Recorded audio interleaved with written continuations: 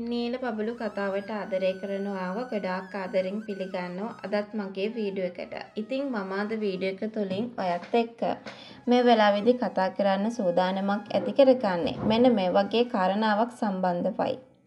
ඇත්තටම අභිමන් ඇඩ්ඩින්ගෙන් අහන දෙයක් ගැන මට අද වීඩියෝ එක තුලින් සාකච්ඡා කරන්නට පුළුවන්කමක් තිබෙනවා. ඉතින් වීඩියෝ එකට යන්න කලින් ආදරණීය මතක් කිරීමක් කරන්නට කැමතියි. ඒ තමයි වීඩියෝ එක බලලා ඔයාටත් මෙවැනිම වීඩියෝස් දිනපතාම බලන්නට කැමැත්තක් ඇති වෙලා තියෙනවා නම් එහෙනම් අනිවාර්යයෙන්ම මගේ channel එක subscribe කරලා මාත් එක්ක එකතු වෙන්න. ඒ වගේම like කරන්න, comment කරන්න, තවත් නොදන්න යාළුවෙකුට දැනගන්න.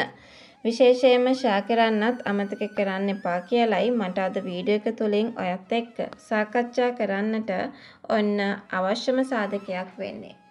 අභිමන් කියලා කියන්නේ අභිමන්ගේ අතිනුත් ඇත්තටම පූජට ගොඩාක් වැරදි සිද්ධ වුණා. ඒක තමයි අපි දන්න ඇත්ත. හැබැයි ඉතින් කොච්චර වැරදි සිද්ධ වුණත් මේ හැමදේම කාලයට ඉඩ දීලා තමයි අභිමන් හිටියේ. කොටින්ම කියනවා නම් අභිමන් තේරුම් ගත්ත දෙයක් තිබුණා. ඒ වෙන කිසිම දෙයක් නෙවෙයි. ඇත්තටම තමන්ගේ අතිනුත් පූජට ගොඩාක් වැරදි සිද්ධ වුණා. ඉතින් ඇඩ්ඩින් පහුගිය කාලේ හරිම නිහඬව හිටියේ. අනිත් එක ඔය චන්ද්‍රාදිත්‍ය වුණත් පූජට සමාව ලබා දුන්නා. ඒ කියන්නේ පූජත් එක්ක ඉන්න කටයුතු කරලා තිබුණා. ඉතින් එහෙම කරපු තමන්ගේ ලොක්කත් එහෙම කරා නම් ඇත්තටම කියනවා නම් ඇඩ්ඩින්ටයි බැරි වුණේ හිත හදාගන්න. මෙතන තමයි ප්‍රශ්නය තියෙන්නේ. මේ ගැන තමයි ඉදිරියට අභිමන් ඇත්තටම ඇඩ්ඩින්ගෙන් අහන්නේ කියන කතාව මම අද වීඩියෝ එක තුලින් සාකච්ඡා කරන්නට බලාපොරොත්තුවක් තියාගන්නවා. ඉතින් මම මොකක් ගැනද මේ වෙලාවේදී ඔයත් එක්ක කතා කරන්නේ. මම මෙහෙම කියන්නම්කෝ පොලිසියේදී එකම එක දෙයක් ගැන තමයි ඇත්තටම කියනවා නම් අහන්න සිද්ධ වෙන්නේ. ඒ වෙන කිසිම දෙයක් නෙවෙයි. ඇත්තටම ඇයි පූජෝ මැරුවේ? ඇත්තටම චන්ද්‍රාදිත්‍යත් පූජාත් එක්ක තමයි අන්තිම කාලේ ඉන්න තීරණය කරලා තිබුණේ. ඉතින් එහෙම කාරණාවක් වෙලා තියෙන පසුබිමකත්.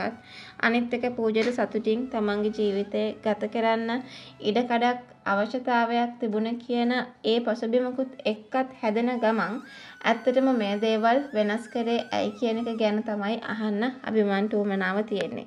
ඉතින් මේ අහන දේවල් වලට උත්තර දෙන්න ඇඩ්ඩින් බැඳිලා නැහැ. ඇඩ්ඩින් කියන්නේ තමන්ගේ මහත්තයාගේ නැත්නම් තමන්ගේ හම් මහත්තයාගේ මුළු ජීවිතේම විනාශ කරේ මෙන්න මේ පූජා. ඒ නිසා ඇත්තටම එයාගේ ජීවිතේ නැති කරගෙන එක තමන්ගේ වගකීමක් කියලා තමන් මේ වගකීම ඉටු කරා. දැන් තමන්ට ඉතුරු කාලේ හිරේ හිටියට කිසිම ප්‍රශ්නයක් නැහැ කියන කතාව මෙතනදී පෙන්වා දෙන්නටත් කරුණු රැසක්ම එකතු කරાવી.